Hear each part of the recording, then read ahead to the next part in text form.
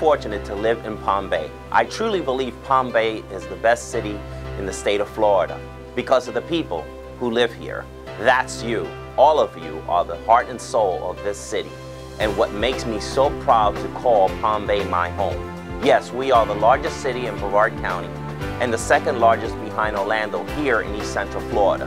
But because of you, the people, we haven't lost our sense of community, our small town feel, our sense of neighbor helping neighbors, and working together to get to where we all need to be a thriving, robust city with the charm and character of a home we never want to be far away from. The state of our city is one of change and transition. Our city manager, Sue Hann, has decided to retire after serving the city with distinction for more than 17 years. Her years of dedicated service are credited with many successes, the most significant of which is leading our city out of the worst economic condition in recent history to where we are today, financially stable, well positioned for future growth and continued progress on infrastructure investment and strong customer service. As we see our property values starting to rebound, we are also seeing continued business investments, which are strengthening our economy. As we search for new leadership, we say thank you to Sue Hann for getting us here. While change can be unsettling, it can also be exciting as we embrace new ideas and new opportunities. We continue working together on our strategic priorities by building on the foundation for future growth and continue progress with our investment in corridor maintenance, e-government, communications, and our infrastructure. In this budget year, we have dedicated one quarter mil for road maintenance. This translates into roughly $675,000, a small amount, but a good place to start.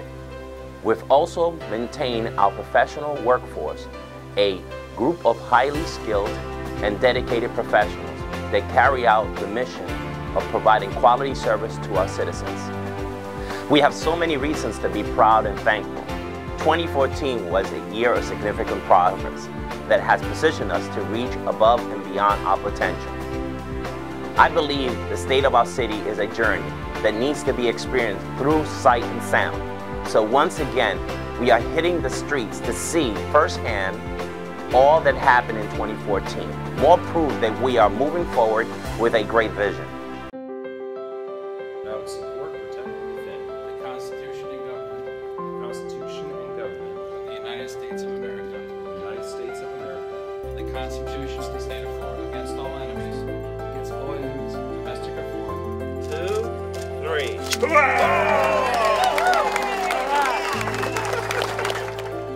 Ours is the first, but there are so many more. Turkey so we Creek Trail Run, everybody. Best trail run ever. Woo! Going, going, going. We did it, Palm Bay. Here we are at the St. John Heritage Parkway. If you look to my south here, you see endless, endless opportunities. Endless opportunities for Palm Bay. We're not stopping here. It's about three miles from Malabar to Emerson. And within the next five years, an extension connecting all the way to Highway 192 will be completed. We are not standing still. Neither is Brevard County's largest employer. The Harris Corporation Palm Bay facility expansion is just about complete. The new technology center will be the hub for the company's most advanced engineering efforts. What this means to our city is huge. High paying jobs, spin off jobs, an economic engine for our city and South Brevard County. We are proud to be partners.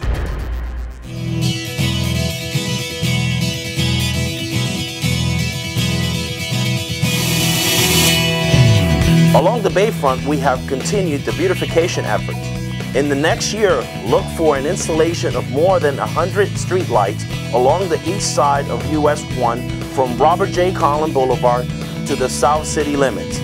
This will make US 1 a safer road for residents and visitors to travel and is part of our commitment to making Palm Bay a destination city.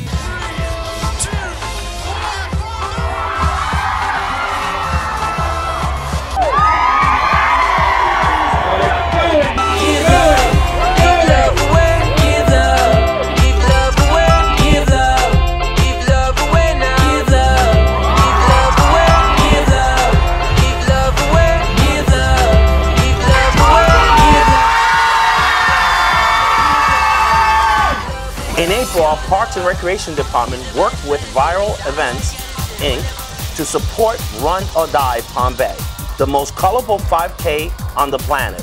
Why is this such a big deal? Because this event doesn't just go to any city. Event organizers want to be confident of a worthwhile venue, and Palm Bay did not disappoint. Palm Bay, are you guys ready to run or dye?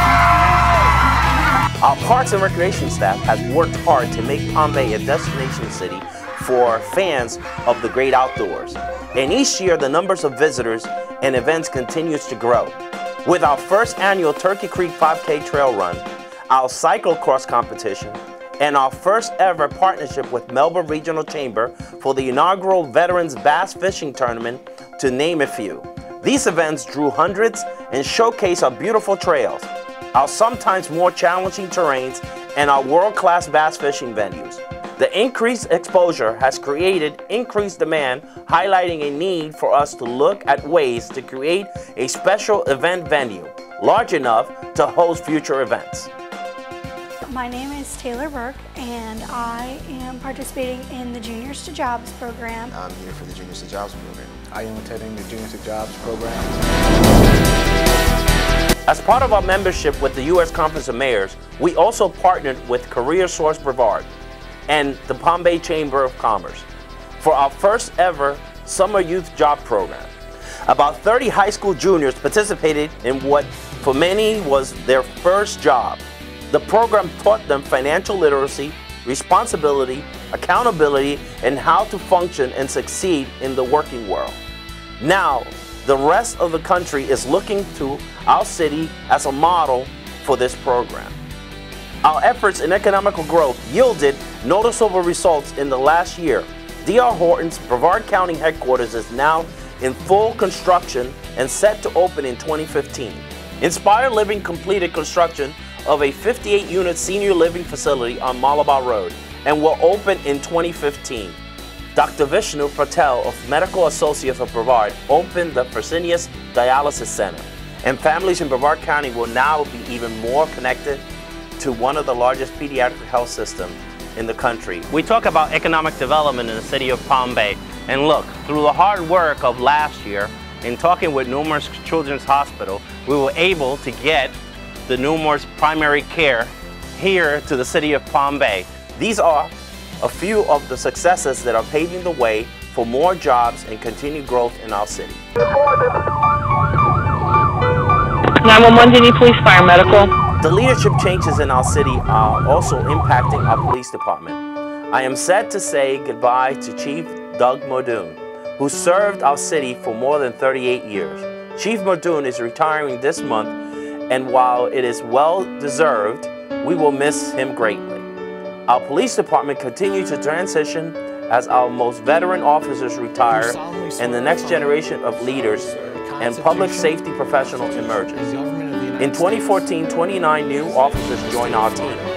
The energy and passion they bring to the job is showing in the fact that our crime rate continues to be one of the lowest per capita in our region. The Florida Department of Law Enforcement Uniform Crime Report puts Palm Bay as the fourth safest city of our size in the state of Florida. We also managed to secure a million dollar grant from the Florida legislature for the improvement of our firearms range. This will help us create a first responder regional training facility that will undoubtedly be a boost for our local economy. Palm Bay Fire Rescue is also in transition. 14 new firefighters joined the ranks in 2014. This was mostly due to retirements. It has also changed the face of the organization as 25 of our rank and file personnel were promoted into new roles. In 2014, we reached a much awaited milestone when we opened Fire Station 6 in the city's southwest sector. This means our coverage in South Brevard is much more efficient. We were only able to do this through a partnership with Brevard County. We are now co-locating three of our fire stations with three county fire rescue crews. We accomplished so much together in 2014, not just in quality service delivery and public safety, but in giving back to the community in some very unique and special ways, like our Home for Warriors program. There's your knee. Welcome home, brother. Welcome home. Hurrah! The generosity of our community of more than 108,000 strong coming together to support this program is impressive and is why I love this city. We are passionate about caring for each other through campaigns like United Way, Relay for Life, the Mayor's Ball, Toys for Tots, and so many others. Whether it's a major event that brings people together or a cause, Bay is a treasure. I'm both honored and humbled to be mayor of this great city. We have more to do in 2015 and beyond. Major new projects like the I-95 Southern Exchange, the Bayfront, the new road projects, new businesses, and new opportunities. I can't wait to get started. I, as we move forward in 2015, I wanted to bring you here to the Bayfront redevelopment area so you could see the opportunities that Palm Bay has into our future. And we need to continue to stress our future and moving forward, moving forward for progress and everything wonderful that we want to happen in Palm Bay. With that, I want to say to the residents of Palm Bay, thank you for having the patience and God bless you all.